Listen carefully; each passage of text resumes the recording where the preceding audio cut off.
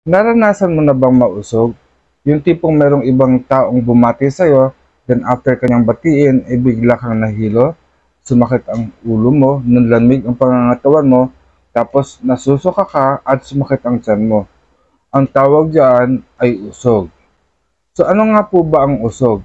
Aalamin natin yan sa vlog na ito. Masayang magtipon-tipon at magdiwang Tumugtog ng kagalakan ang lahat Papuri at parangal sa diwatang nasa atin Magandang umaga, magandang tanghali, magandang hapon o magandang gabi sa inyong lahat. Anumang oras niyo pinapanood ang vlog na ito, sa amang panig ng mundo kayo naroon, kayo man ay nasa Hilaga, Silangan, Timog, Kanluran, o kaya kung kayo man ay nandito sa Pilipinas, kayo man ay nasa Luzon, Visayas at Mindanao. Ako po ang Apo Adman ng Luntiang Agama, Natural Divine Arts and of Healing, and welcome to Pinoy Witch Talk. So ilang araw na lang, no? 30 days na lang ay malapit na natin makompleto ang 100 days devotion natin. Ibig sabihin ay tayo boboto na naman, no? Tayo maghahalal ng panibagong pangulo ng ating bansa. Pero bago mangyari yon, eh sana ay pagpatuloy pa natin ipanalangin ang ating bansa upang magkaroon ng mapayapang halalan. Sa araw na ito, pag-uusapan natin ay patungkol sa usog. Nausog ka na ba?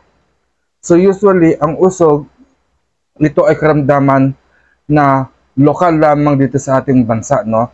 Pero sinasabi nila o sinasabi ng mga foreigners or ibang mga estudyante ko sa Hilot Academy na meron ding similar na usog sa ibang bansa. Ito yung psychic vampire, no? Parang or psychic or energetic something. Nakalimutan ko kung anong tawag nila doon. Pero parang similar daw siya sa psychic vampirism, no? Pero ang usog sa atin, pinaniniwalaan natin na yung kaluluwa natin umuurong o umuusog o parang na, na itutulak palayo sa ating katawan.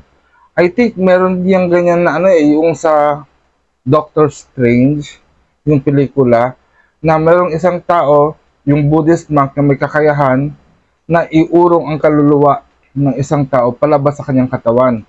Although, sa atin, may maraming mga pamamaraan kung bakit tayo nauusog. Yun nga, kadalasan, nauusog ang tao pag siya ay nababate. So, nakita nyo, yung bate ay isang uri ng, ng gesture yun, no? kabutiang loob, na parang tinatawag natin ang atensyon ng isang tao. Pag binati mo isang tao, maaring mapukaw niya ang iyong kaisipan, ang iyong damdamin, para sumunod ka sa kanya. Pero meron naman na isang bate na pamamaraan na imbis na mapasunod ka, eh lumalayo tayo. So, ibig sabihin, merong mabuti at masamang usog. No? At ang pinaka-advanced level nito is nagagayuma ka.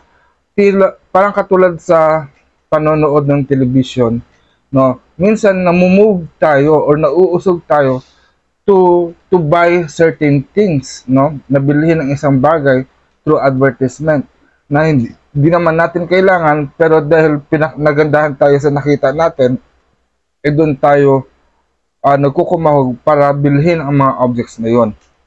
So dito, nawawala tayo sa focus. Ibig sabihin ng ating kaluluwa umaalis sa ating katawan na nagiging sanhi ng karamdaman. Kaya yun po dapat ay ating ingatan. No? At kadalasan, ang gamot nito sa ating bansa, eh, linalawayan. So bakit laway, no?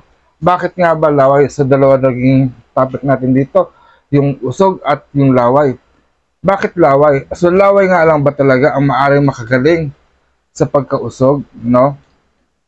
Usually, sinasabi kasi ng mga matatanda, ng mga albularyo, no, ang ating laway is nagiging daluyan ng ating willpower. Kumbaga, yung nilalaman ng isipan at puso natin doon ay nagtatagpo And usually, ang laway ay meron ding kapangyarihan na parang katulad sa isang dasal. Na pag dinasal natin siya, no, inusal natin sa bibig natin, ay maaring nandito lang siya at uh, uh, lumilipad sa hangin. Pero, kung yung laway mo ay ipapahid sa katawan, So, ibig sabihin, yung panalangin mo ay didikit sa katawan ng tao at mananatili. Kaya maraming iba't ibang uri at pamamaraan ng pagdadasal eh. At yan ay ating matutunghayan sa April 13 sa ating hilot orasyon. No? May dasal na ipinapahid, may dasal na binubuga. So, yan ay aalamin natin sa ating webinar sa April 13 sa hilot orasyon. Sa mga kalay, hanggang dito na lang po muna. Maraming maraming salamat sa inyong pagtangkilik. Kung nagustuhan niyo po ang video ito, bigyan niyo po ako ng thumbs up, i-share, at huwag kalimutan mag-subscribe. At i-hit ang notification bell para every time na magkakaroon tayo ng upload ng video ay mananotify kayo. At gayon din, kung meron kayong katanungan, prayer request, eh, isulat nyo lang po sa baba.